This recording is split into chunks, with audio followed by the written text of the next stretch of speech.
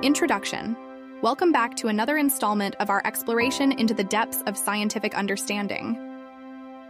In this segment, we're about to embark on an exciting journey to unravel the secrets of orbital mechanics. We'll uncover the mystery of how objects remain gracefully suspended in orbit and shed light on why astronauts seem weightless within spacecraft. Misconceptions about floating. Let's debunk one of the most common misconceptions the belief that as objects venture further from a planet, gravity mysteriously fades away, leading to the concept of zero gravity. However, it's important to clarify that this idea couldn't be further from reality. To set things straight, we need to delve into the fundamental principles of gravity. Grasping gravity. Imagine the majestic Earth, designated as E. Now consider the Moon, a celestial body we're all familiar with for its orbit around Earth. Let's momentarily treat Earth and the Moon as singular points, their mass concentrated at their cores, referred to as E and M, respectively.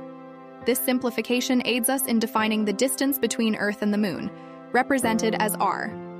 The universal gravitational law. The gravitational force between two objects is elegantly encapsulated by the universal gravitational law. This force equals a constant, g, multiplied by the product of the masses of the two bodies, m1 for Earth and m2 for the Moon, all divided by the square of the distance, r, separating them. Here's the key. Irrespective of how we modify the distance between these entities, the force endures, never truly reaching zero. Consequently, the notion of zero gravity is nothing but a misconception. The mystery of orbits. With gravity being a constant presence even in space, how then do objects elegantly orbit planets, and why do astronauts appear weightless? To unravel this enigma, let's delve into a renowned thought experiment, an approach beloved by luminaries like Einstein. Thought experiment, the dance of gravity and velocity. Envision yourself standing on solid ground, playfully propelling rocks horizontally.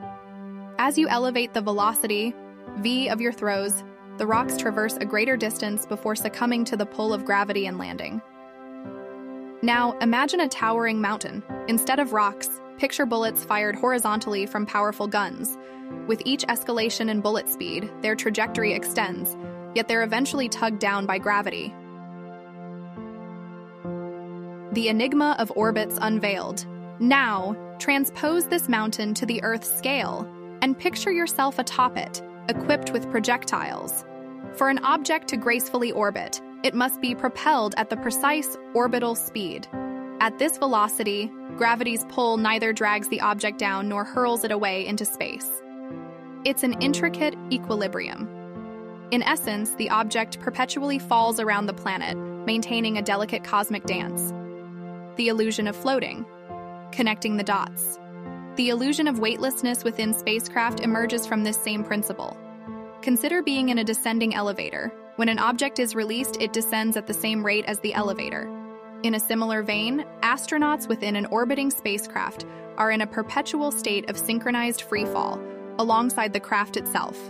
This harmonious descent creates an environment that appears devoid of gravity, resulting in the captivating experience of floating. In conclusion, and there you have it a voyage through the captivating realm of orbits, gravity, and the spellbinding sensation of astronaut weightlessness.